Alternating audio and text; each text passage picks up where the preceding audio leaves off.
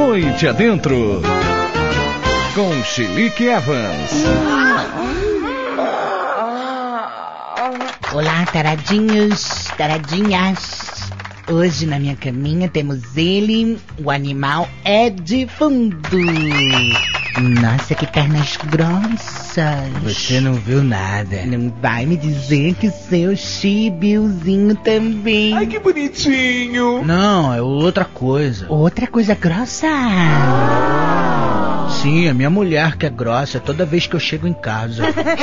Nossa, animal, você deve ser uma fera na cama. Sou um tigre. Tigre? Por causa das garras fortes? Não, por causa do tamanho da bengala. Meu Deus. Ai. Preciso conhecer melhor esse homem. Diretor, o que eu faço agora, diretor? Ah, só um pouquinho, tá, animal? Porque eu tô falando com o meu diretorzinho aqui no pontinho, aqui na orelhinha. Encerra o quadro, diretor.